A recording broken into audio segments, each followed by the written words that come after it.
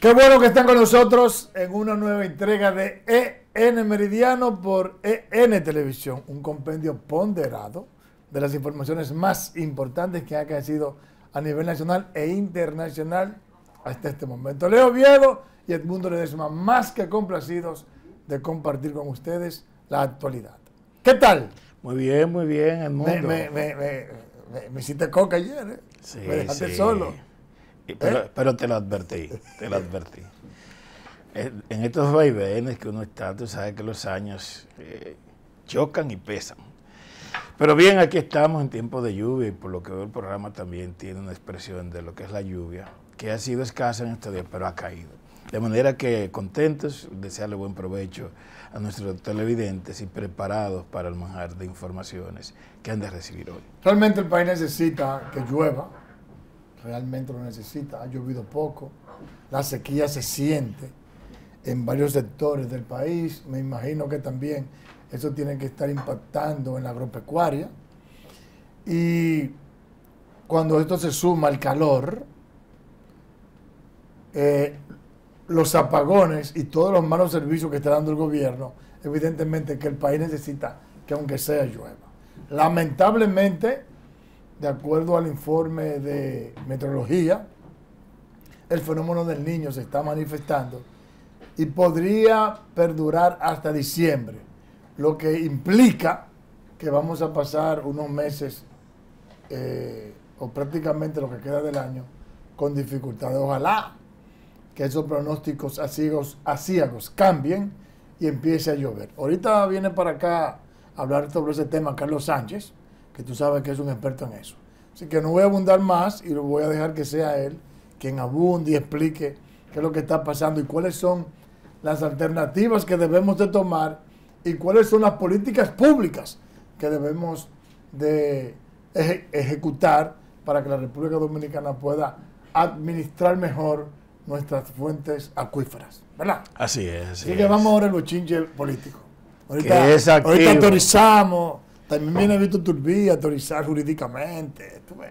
Entonces, ahorita vienen los científicos. Sí, ahora sí. vamos a otro bochinche. Entonces, diga, díganos usted qué es lo que Bueno, en está el día de pasando. ayer, en el día de ayer, el evento político, digamos, más trascendente, que mayor impacto ha tenido en los medios de comunicación, fue la inesperada alianza entre Leonel Fernández y Juan Gutiérrez. Vamos a ver lo que dijo Leonel Fernández No en el marco de no esa... creas que fue tanto porque en el pasado proceso eso casi estuvo, de hecho. Bueno, pero sí, ellos fueron de alguna manera, como consecuencia de la alianza opositora, estuvieron del mismo bando. Pero la verdad es que uno no esperaba, la, la verdad es que yo no me lo esperaba. Así que vamos a ver esas declaraciones. Ah, lo que pasa es que usted, usted no va a San Juan. Vamos a ver. El cambio se ha convertido en un retroceso. Y como se ha convertido en un retroceso es que hoy el movimiento rebelde y la fuerza del pueblo cierran filas para que ese gobierno no pase un día más después del 16 de agosto.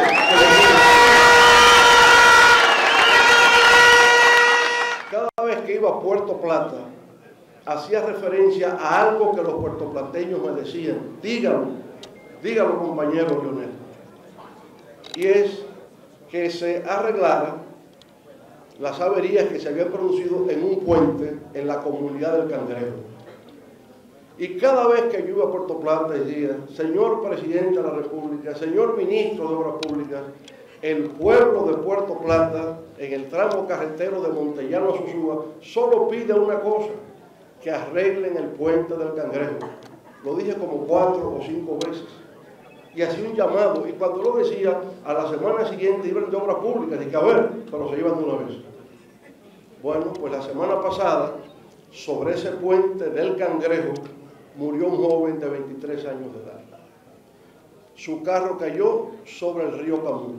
Él murió y tres más han quedado gravemente heridos. Y por tanto, como yo lo dije tantas veces, y como en Puerto Plata lo vivían repitiendo que arreglaran el puente sobre el cangrejo, la comunidad del cangrejo, yo declaro que este gobierno ha sido insensible e indolente y son los responsables de la muerte de ese joven. En cada, en cada acción uno nota cómo el gobierno ¿verdad? hoy día está completamente desconectado. Ahora estamos en una tanda de apagones. Apagones a toda hora, pero al mismo tiempo que dan apagones, suben entonces la tarifa eléctrica, lo que se convierte en un abuso al pueblo dominicano subir la tarifa eléctrica cuando nos dan una tanda de apagones. Eso es insoportable y contra eso lucha el movimiento rebelde y la fuerza del pueblo.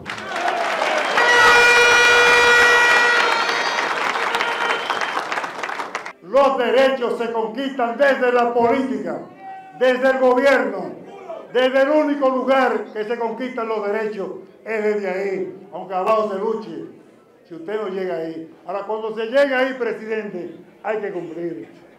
Yo no soy candidato a la presidencia porque no puedo. A lo único que puedo ser candidato en este momento es a Gran Santo Domingo como senador de Monte Plata. Para lo que están preguntando.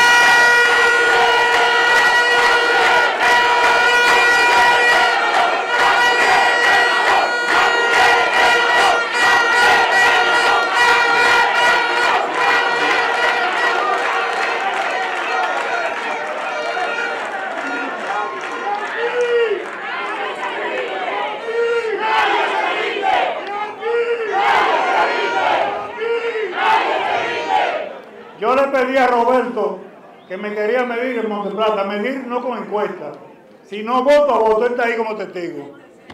Voto a voto, para que no sea fruto de una reserva, porque yo no soy de la fuerza, yo soy movimiento rebelde, pero vamos a luchar hombro con hombro, puño con puño y mano con mano. Vamos a luchar. Y lo que puedo hacer entonces bueno, ahí está, ahí está ese evento del día de ayer. Evidentemente que, aunque habrá sus críticas, como natural, porque se enfrentaron por mucho tiempo, pero no cabe duda que para la oposición es un buen activo Juan Uvieres. Pero la verdad es que desde que aquí hay doble vuelta, pues uno ve alianzas que antes uno pensaba que eran imposibles. La primera fue el Frente Patriótico. ¿Quién se imaginaba a Joaquín Balaguer y a Juan Bosch en un mismo escenario? Pero luego ha habido alianza del PRM con la Fuerza del Pueblo, porque en el pasado proceso hay que recordar que la Fuerza del Pueblo y, el PRM fueron aliados. Pero que además el PLD se ha aliado con el Partido Reformista, con el PRD, con todos.